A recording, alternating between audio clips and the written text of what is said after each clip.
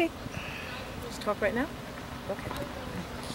Um, I think that the, the biggest breakthrough that I had in this class was coming to understand how similarly our energy and our bodies run to horses. That when I learn something that works to unblock energy in a horse, it applies to me as well.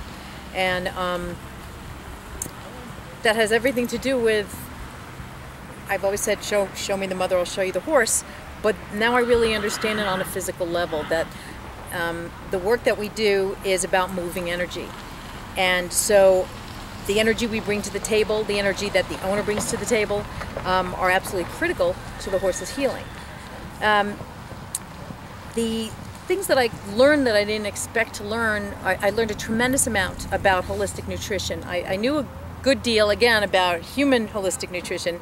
And again same principles about alkalizing the body about whole food about getting the garbage out everything that works for humans. And many of the same products um, are absolutely critical for a horse's health and healing. So i did not expect to learn that and that was a really phenomenal added bonus.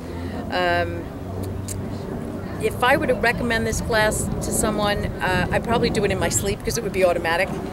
It was a phenomenal learning experience. Kay is a dynamo. There, she, you, you will if you take the class, you will want to take her her brain and make a chip out of it and implant it in your own brain because there's so many things that she knows that apply to both humans and dogs too and horses that you will walk away with an incredible amount of knowledge and and workable tools that will serve you and the animals that you love and you work on. It was an amazing class.